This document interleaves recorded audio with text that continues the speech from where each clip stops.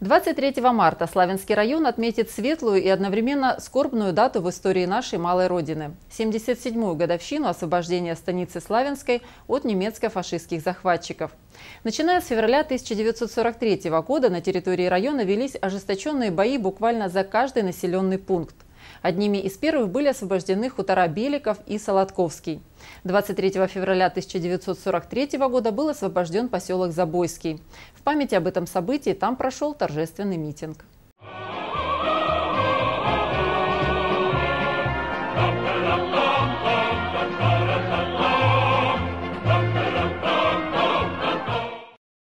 Более восьми месяцев Славянский район был оккупирован гитлеровцами. За это время славянцы узнали все ужасы фашизма и с нетерпением ожидали освобождения. Первые ожесточенные бои, которые положили начало изгнанию захватчиков с территории Славянского района, были как раз в этих местах.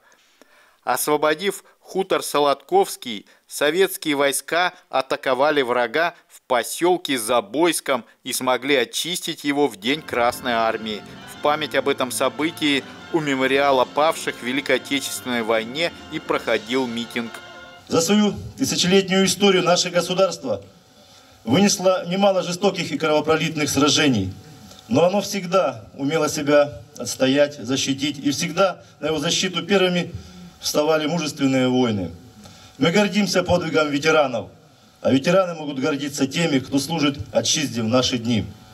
Искренне поздравляю всех участников Великой Отечественной войны, вооруженных сил, тружеников тыла, воинов-интернационалистов, всех присутствующих с праздником.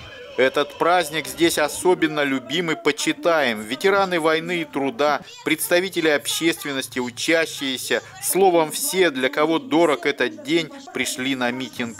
Для нас важно чтить память для того, чтобы помнить и гордиться теми, кто за нас боролся, кто дал нам, по сути, жизнь.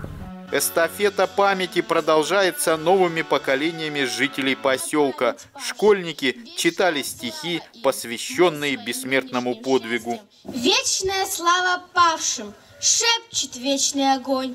Славы себе не искавшим, шедшим всегда на пролом. Вечная память павшим, вечная слава им. Мы своим нынешним счастьем вечно обязаны им.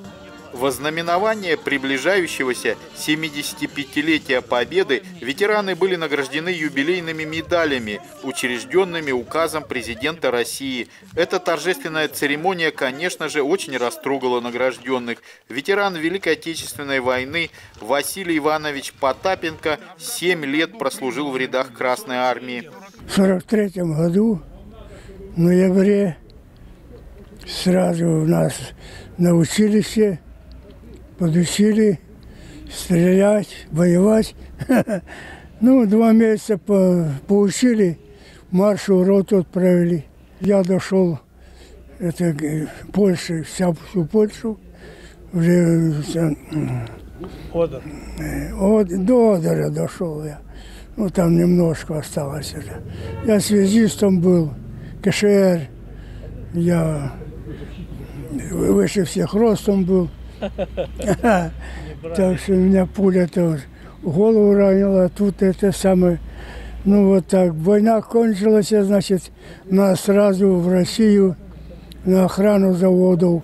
После минуты молчания состоялось возложение цветов к подножию памятника. Многие жители поселка считают своим долгом почтить память героев – Немаловажно, что здесь активно работают с подрастающим поколением по воспитанию патриотизма.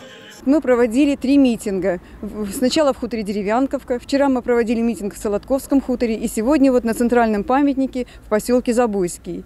Вот. А активное участие принимает школа, население, администрация. В общем, относимся к этому э, ответственно. Но что я хочу сказать, что вот насколько проводится работа у нас военно-патриотическая в том плане, чтобы подрастающее поколение помнило, знало своих героев. Мы работаем со школьниками, проводим мероприятия в школах, уроки подвига. Вот э, буквально проводили в школе номер 20. Праздник завершился, и он наверняка запомнится всем его участникам как знак уважения к нашему прошлому, которым можно и нужно гордиться. Андрей Вишневский, Игорь Ванчугов, программа «События».